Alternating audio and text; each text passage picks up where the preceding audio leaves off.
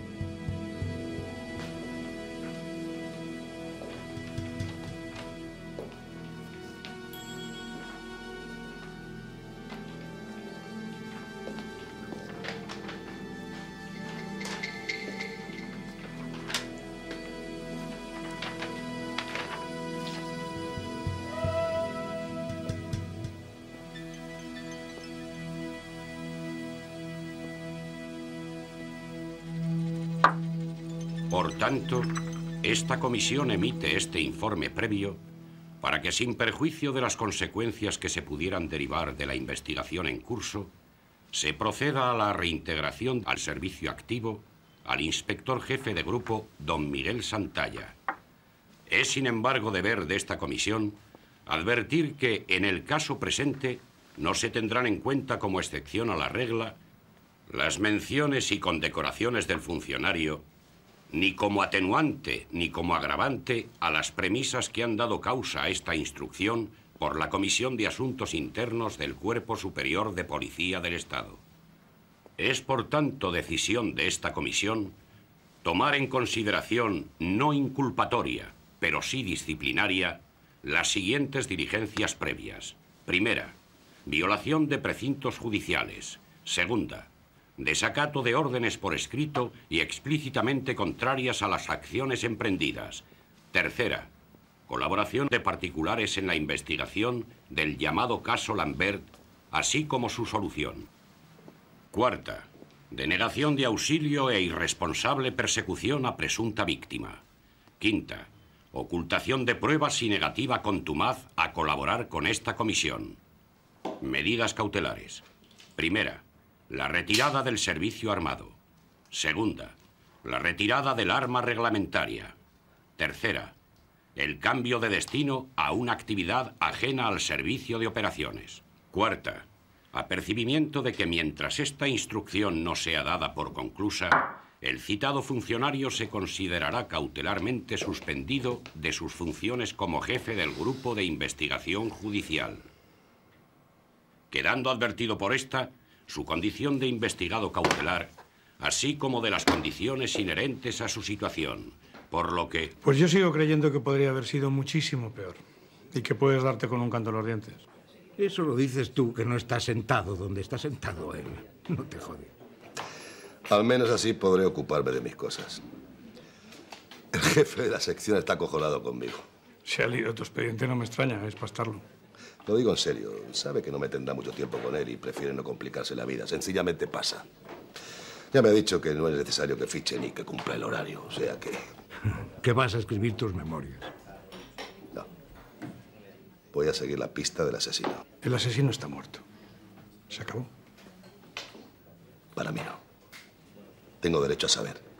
Como todo enfermo, tengo derecho a conocer mi mal.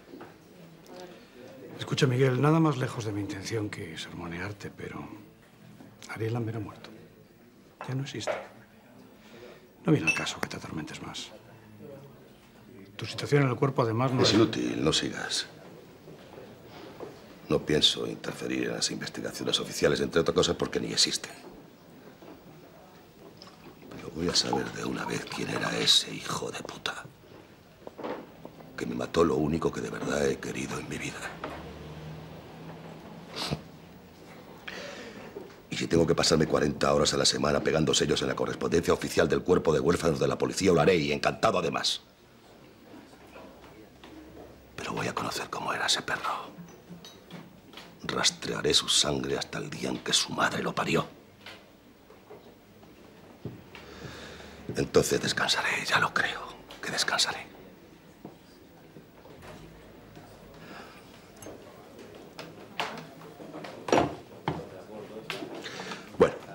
Voy a seguir pegando sellos. Os tengo que dejar. No tiene nada para mí.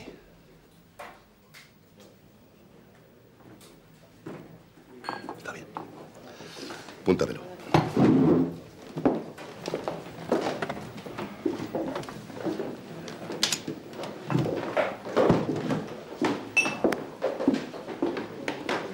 Tengo que hacer llamada.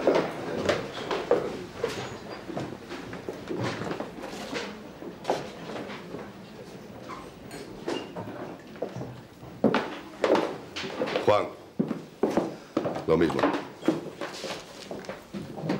Esto que se han olvidado en la mesa, ¿es suyo?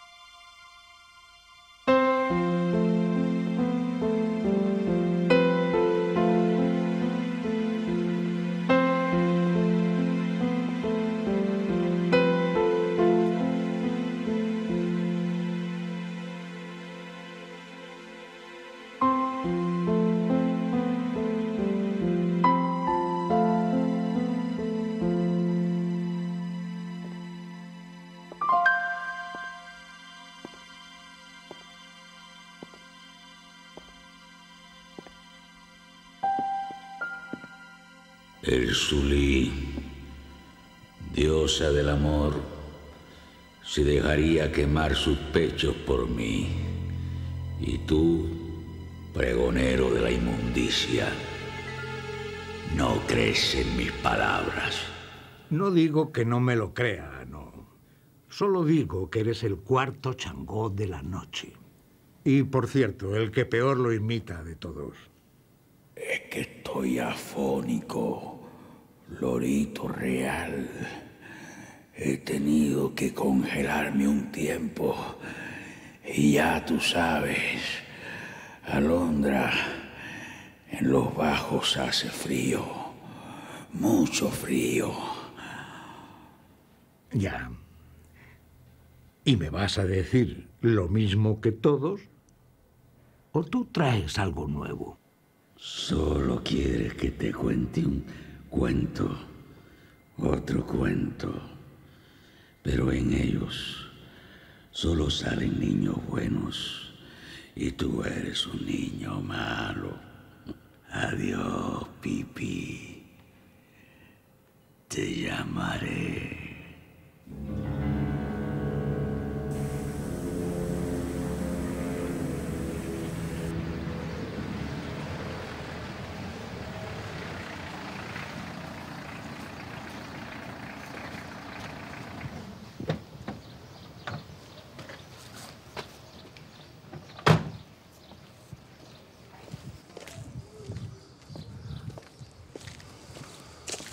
Buenos días.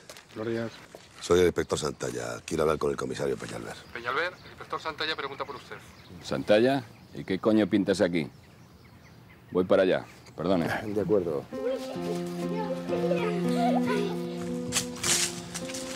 ¿Qué tripa se te ha roto? Buenos días, Peñalver. Quiero, quiero hablar contigo. ¿Conmigo? Pues sí que resulta raro. Me sorprende hasta que recuerdes mi nombre. Mira, Lino, déjalo ya. No vengo a hablar de mí ni a contarte lo que ya sabes. Simplemente vengo a hablar como compañero. Bueno, de policía a policía. Está bien. Larga. No quiero enfadarme. ¿Y eso qué es? Dios me perdone, pero quiero No me hables, que entre fundaciones, donaciones, abluciones y leches estoy hasta el gorro. Ay, Sor Lucía. Esto es más complicado de vigilar que el calameco. Señora, Esa es la princesa de Pavía. Iba para monja, pero heredó mucho. Pero bueno, acompáñame y me cuentas tu problema mientras hago la ronda. ¿Sabes lo que se cuenta en la brigada de ti y de tu lío con Lambert? Yo no me lo creo, pero tampoco dejo de creérmelo. Si tú me aseguras que he matado mucha gente, vale, porque siempre te he tenido por un tío listo. Pero si está muerto, no sé por qué coño te estás jugando la carrera. Tú sí lo sabrás, ¿no? Mira, Lino, para mí ese hijo de la gran puta está vivo, estoy seguro. Está libre, anda suelto por ahí. En la brigada piensan que estoy loco, pero te juro por mi madre que no lo estoy, Peñalver, te lo juro. ¿Estamos? Claro como el agua. Nunca te he tenido demasiada simpatía, pero entiendo muy bien lo que sientes. Vaya si lo entiendo. Yo haría lo mismo. Así es que estaré al loro y te comunicaré lo que sepa.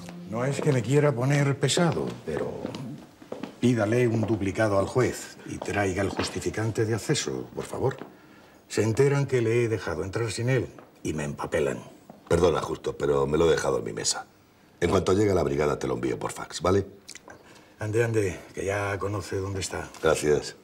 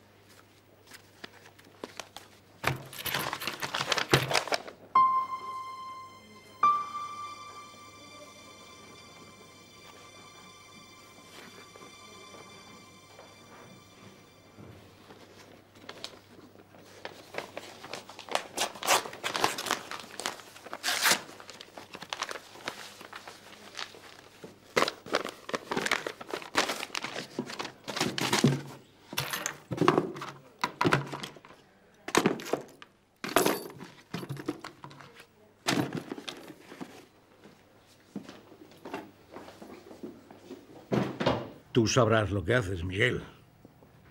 Pero eso es abuso de confianza. Y Quintero se va a enterar, además, seguro. En cuanto ese justo no reciba el permiso, le canta que te has colado en su archivo y eso, macho, es muy grave. Ya se lo explicaré yo. ¿Sabes algo de estos sellos? Siempre te las has dado de filatélico. No he presumido de nada en toda mi vida, pero sí, entiendo de sellos.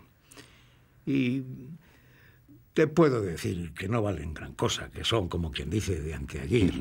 Si tienen otro significado, además del filatélico, eso lo tendrás que averiguar tú. De momento nadie franquea una carta con tres sellos de tres países diferentes.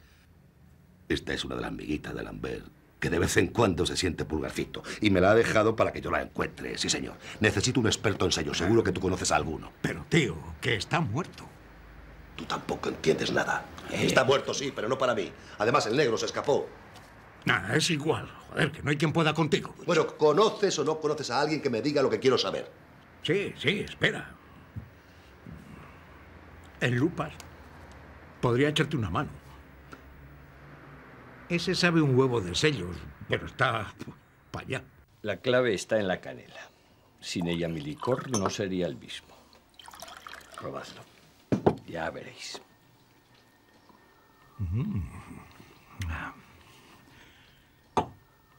No has perdido la mano, Lupitas. Oye, te encuentro un poco más viejo. ¿Y quién no se hace viejo, eh? ¿Quién no, Alcatraz? Tú tampoco eres un niño. Lo importante es esto. Y esto. El caletre y lo sacáis, lorito real. Fíjate, Italia, Venezuela, Unión de Repúblicas Socialistas Soviéticas. Un país que hubo una vez. Tres sellos de tres países distintos en el mismo sobre. Sorprendente, ¿eh, Lupitas? ¿A quién no le habría llamado la atención? Y sin embargo, todos tienen una cosa en común. Como siempre, el secreto está en la observación. O sea, en el análisis. Y del análisis, la deducción. Sí, señor. Los tres tienen algo en común. El Libertelier. El mejor catálogo de sellos del mundo. Aquí están todos los secretos de la filatelia. Y seguro que también el secreto de esos sellos.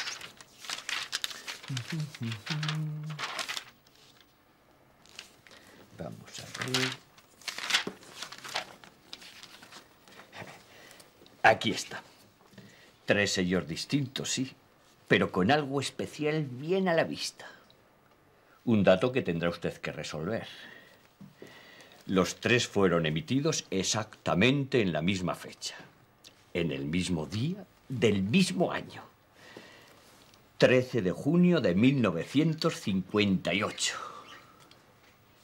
13 del 6 del 58. Alcatraz, ¿ya tenemos algo? Una copa más, colegas. Eh.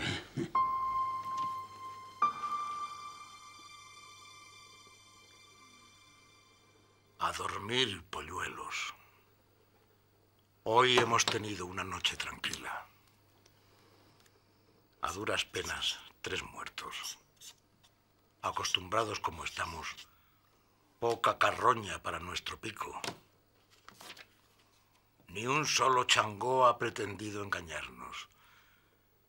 Igual es que se han cansado todos ellos y nos dejan en paz de una vez.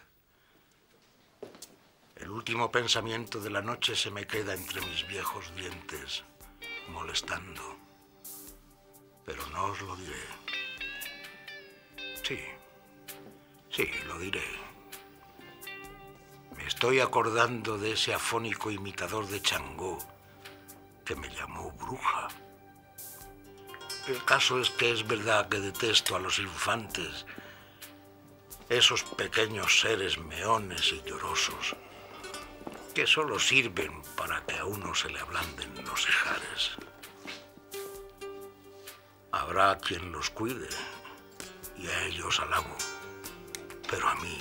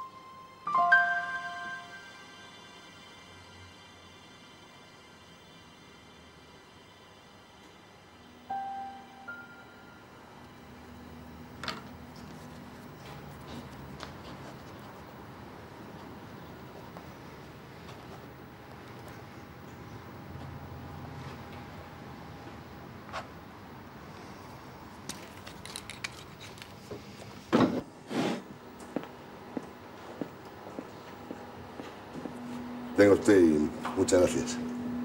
Y la próxima vez, si no trae el carnet de lector, no podrá pasar. La próxima vez hará usted lo que a mí me dé la gana.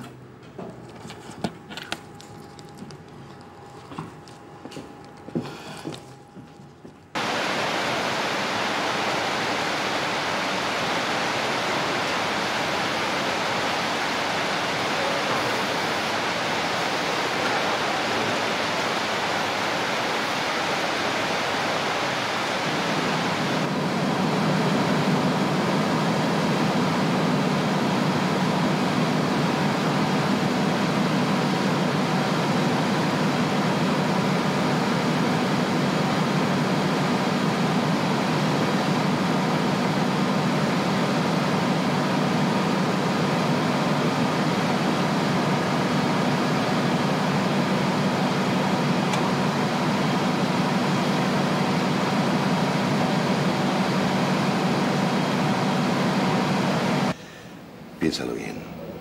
Alguien habrá que sepa de esto. Coño, el IBM. Espera un momento.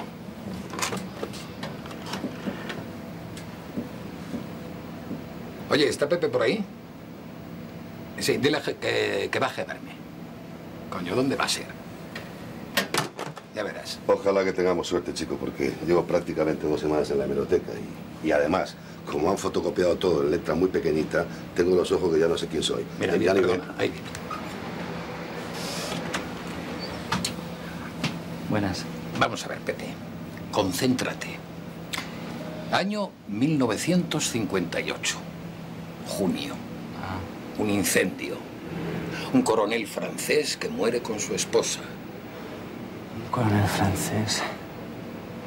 La casa que se quemó estaba en Arturo Soria, a la altura de la piscina Estela. Murieron los dos. El crío se salvó. El ama de llaves, que era de Palencia, se quedó como medio tonta. Se llamaba Eugenia. Eugenia Chozas, sí. Como su cuñado. Chozas. Eso es. Muy bien, Pepe. ¿Algo más, señor Pérez? Nada, muchas gracias. A usted. Hasta luego. Joder, qué me murió. Por eso le llamamos el IBM. Aunque el cabrón se acuerde solo de lo que quiere. Pero no te preocupes que es de absoluta confianza. Si él dice que una persona se apellida Chozas, es que... se apellida Chozas. Gracias, Luis, gracias.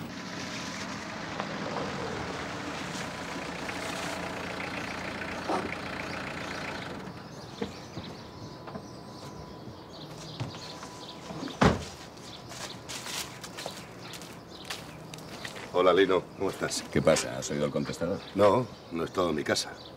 He venido por si tenías algo para mí. Claro que tengo algo. Por eso te lo he dejado grabado. Y lo que tengo es que el único testigo está vivo.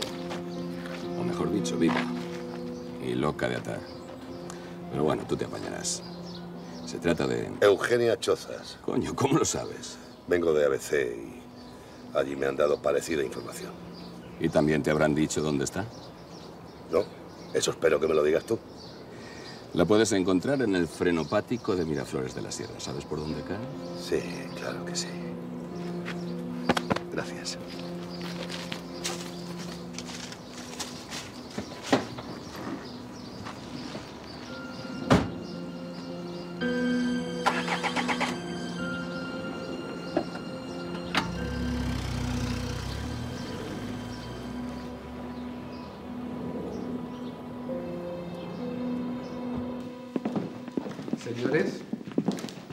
Parece, podemos empezar.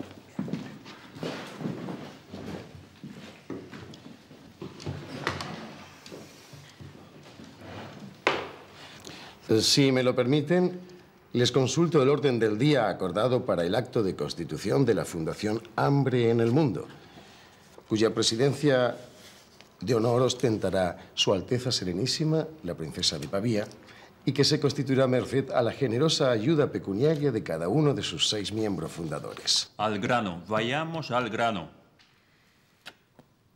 ¿Cuándo hay que entregar el cheque?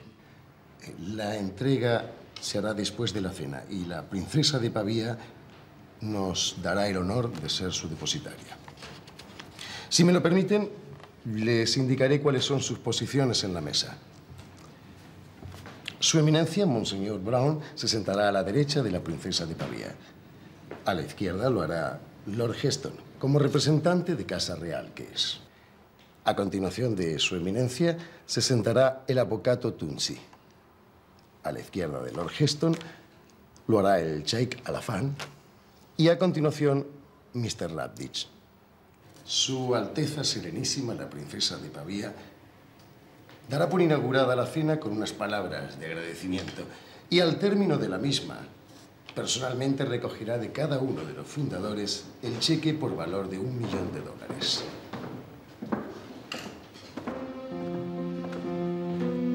Mm, Si les parece, y como acto oficial, la princesa de Pavía a continuación dejará inaugurada esta fundación.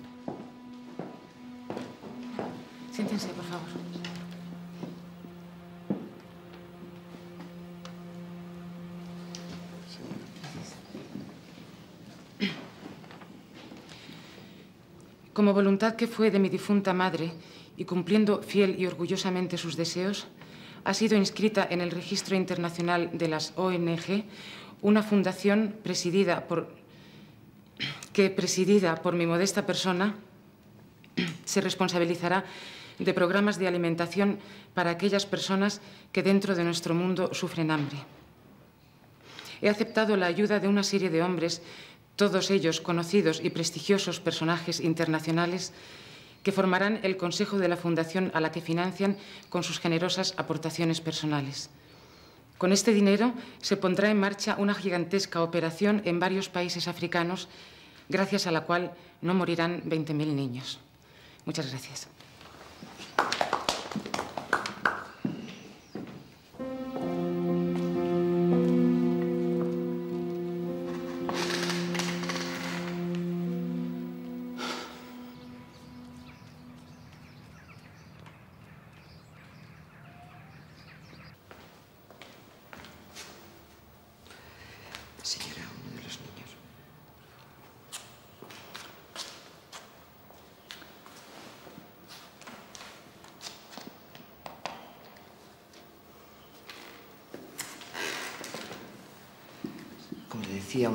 Niños ha vomitado y se encuentra mal.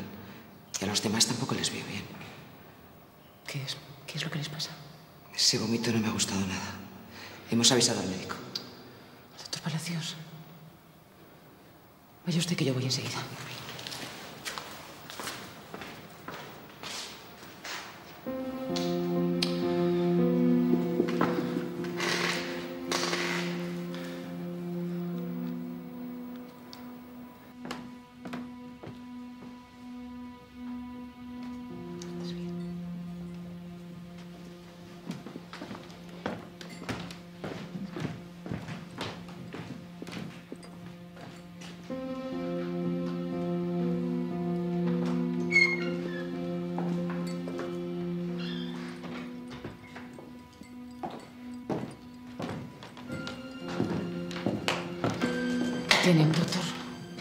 Según me dicen del Instituto de Epidemiología, acaban de analizar el vómito de los niños.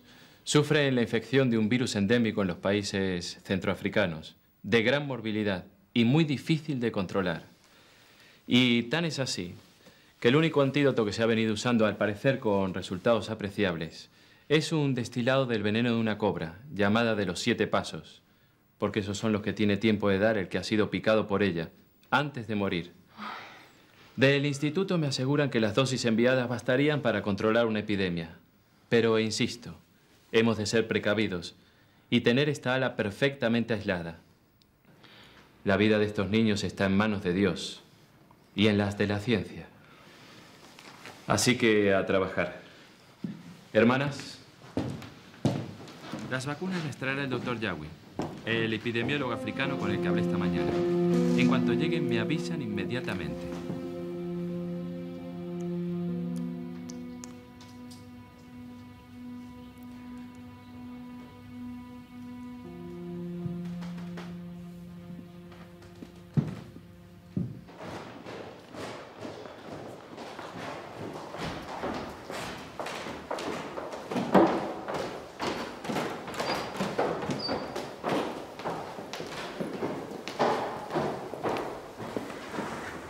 Esperándolo con un encargo del doctor Santos para encarecerle que tenga usted mucho cuidado.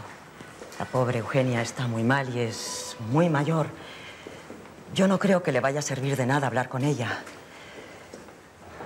Pero por favor, por favor, sea usted delicado. No se preocupe, hermana, lo seré.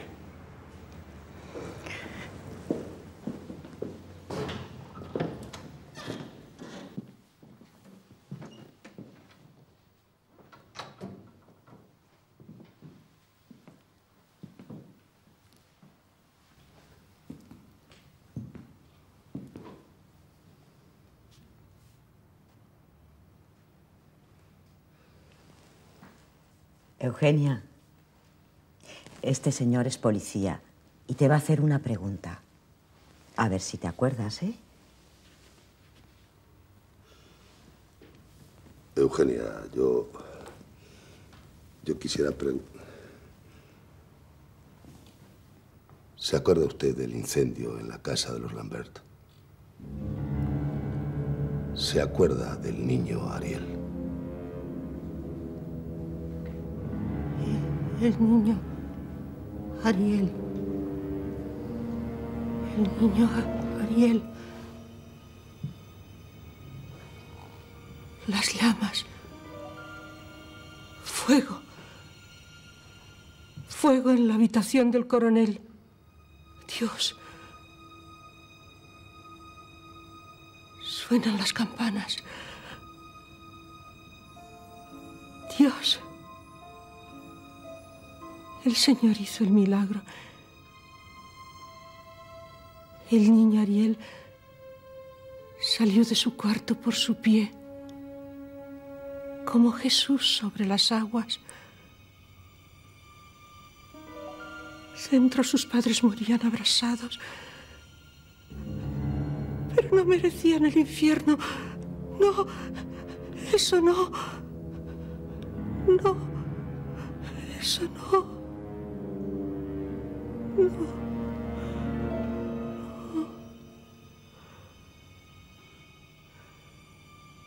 niño Ariel se salvó de las llamas.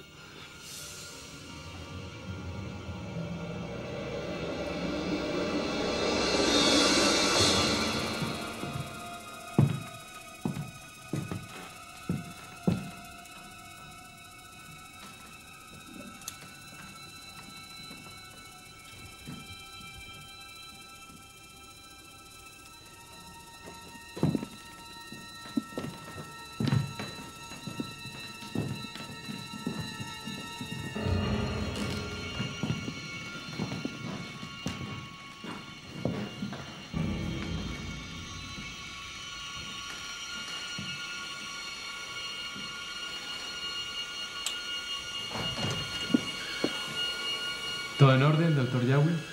Sí. ¿Me necesita? No es necesario, doctor. Gracias.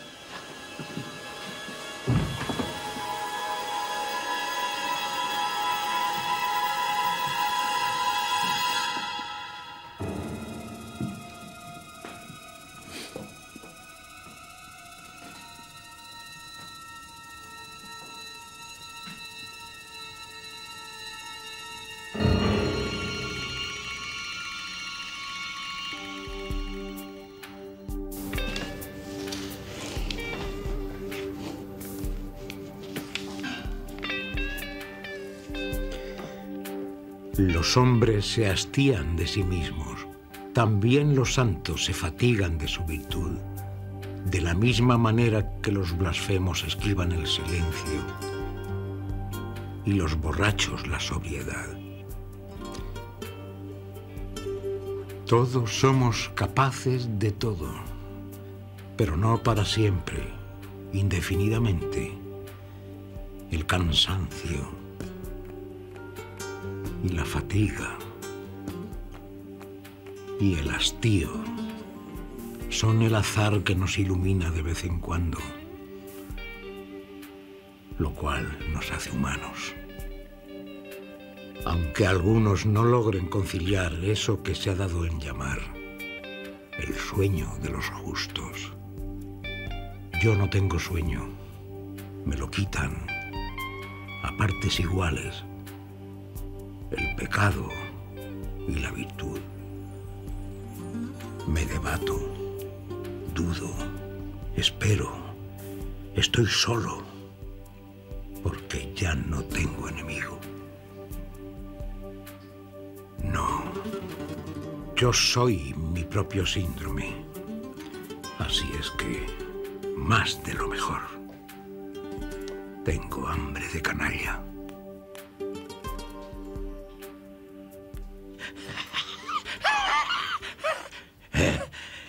Este, este, este sí es mi Alcotán. Solo así, ante ese resplandor, me siento elegido entre los demás, entre todos los demás. ¿Por qué hablas tan bajo, voz de Changó? Porque estoy velando el hambre y debo procurar que no se despierte porque corre más que la muerte. Por cada paso de esta, aquella da siete.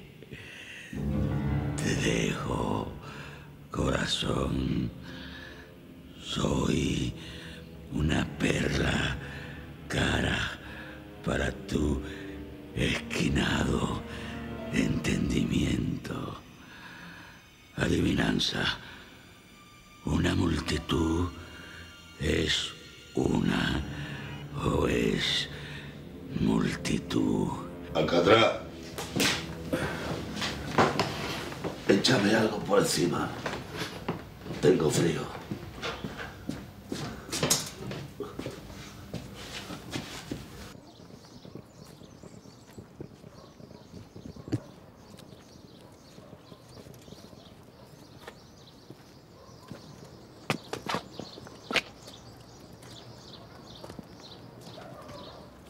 Señor, cuidado.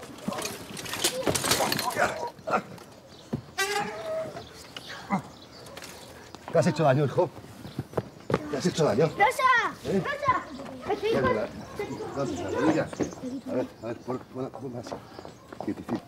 ¿Le ha hecho mucho daño? No mucho, ¿Eh? un poco. Bueno, ¿Qué ha pasado? señora, Me ha atropellado. lo siento, pero... ¿Dónde era te un, accidente y... sí. ¿Te has hecho? ¿De verdad no? No tienes nada. El niño está bien. No pasa nada. Pero usted está sangrando. Ah, no, nada, esto no. De verdad que no es nada, señora. Será mejor que entre en casa y se lo vea. No, no, se lo agradezco. De verdad que esto no es nada, señora. Hágame caso. Seguro que no tiene ninguna importancia. Pero cuanto antes le lave esa herida, mejor. Vamos.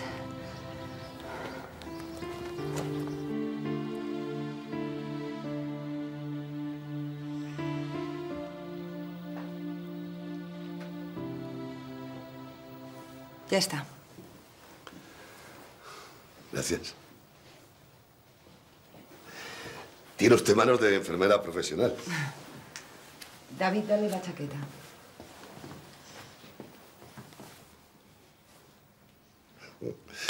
No creas que soy un pistolero. Soy policía y estaba en acto de servicio hasta que, hasta que nos tropezamos su hijo y yo. La verdad es que estoy buscando una casa que debería estar por aquí, pero ya no está. Ah, debe hablar de la casa quemada. Según me han contado, había una casa que se incendió. Ya. ¿Hace mucho que vive usted en esta urbanización? Más o menos llevamos un año, desde que volvimos de Jerusalén. Yo trabajaba allí. Después de separarme, nos vinimos aquí y alquilé este chalet a una fundación. ¿A una fundación? ¿Cómo se llama esa fundación? No me acuerdo. Tengo los contratos en la caja del banco. Si puede volver cualquier otro día, con mucho gusto se los enseñaré. Se lo voy a agradecer, es muy importante para mí. Tú hablarás hebreo, ¿verdad? Sí, señor. Castellano e inglés. Vaya. Bueno, no hay que presumir, ¿eh? Traeré los papeles mañana lunes, ¿le parece? Mañana volveré. ¿Le parece bien a las ocho? Sí, muy bien. Bien. Bueno, Hasta mañana. hasta mañana. Adiós, David. Cuidado con la bici. Tranquilo.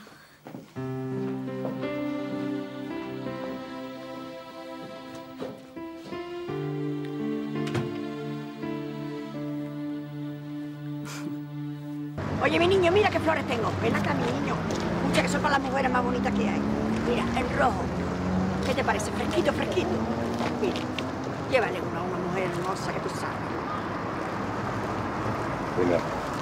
Gracias.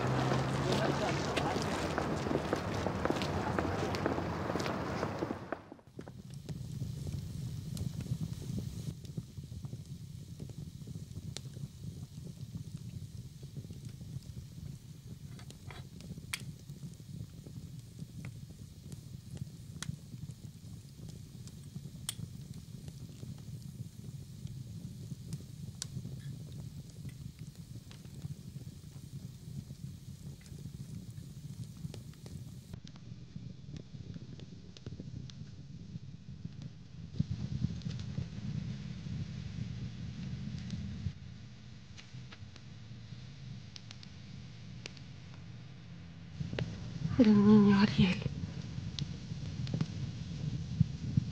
El niño Ariel. El niño Ariel.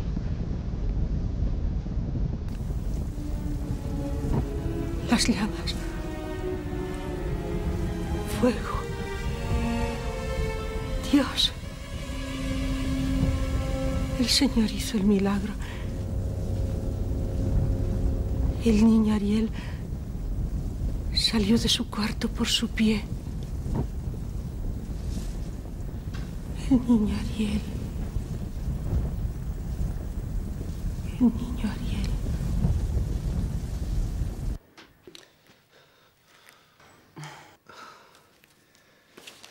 Lo siento, me, me quedé traspuesto. He pensado que se quedaría. Ya he estado preparando la cena. ¿Se va a quedar?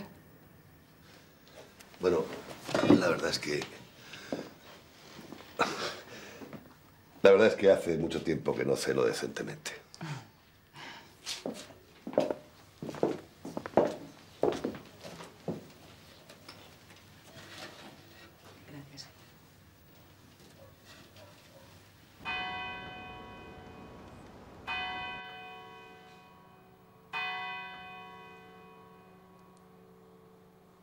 ¿Y entonces qué pasó? Pues que cuando se dieron cuenta que se habían quedado sin rehenes, se rindieron. Los criminales solo son tíos cuando juegan con ventaja. ¿Un licor, Miguel? ¿Quieres coñac? No, gracias. Café. ¿Y esa otra que contabas del ecologista tar, tar, tartamudo? Pues nada, eso, que tenía dificultades al hablar, era ta, ta, ta, ta, taja, y, y no... No arrancaba. No arrancaba.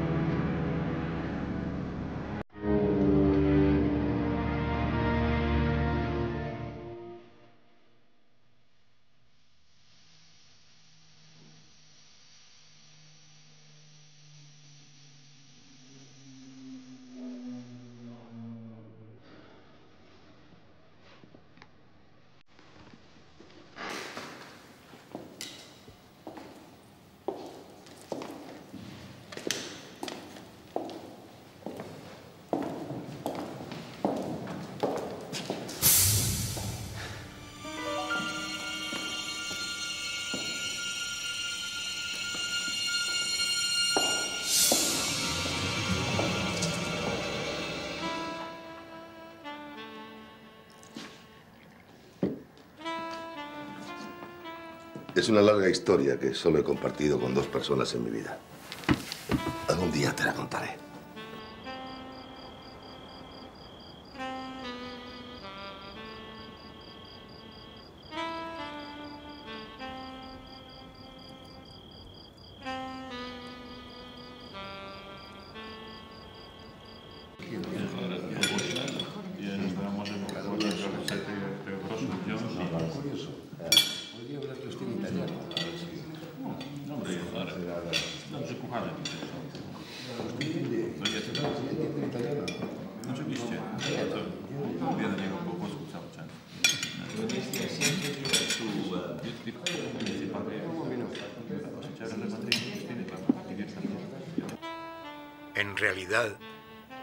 Se llamaba Charlie Bird.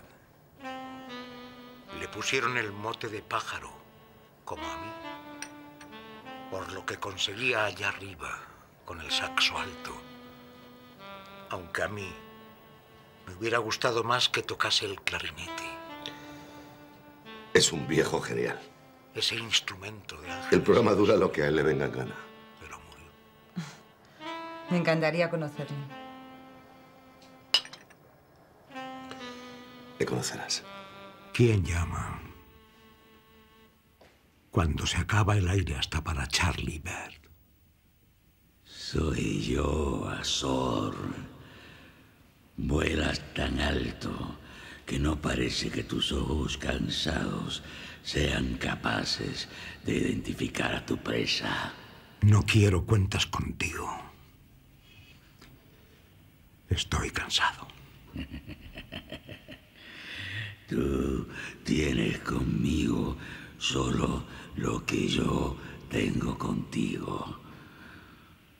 Una es una y multitud miles.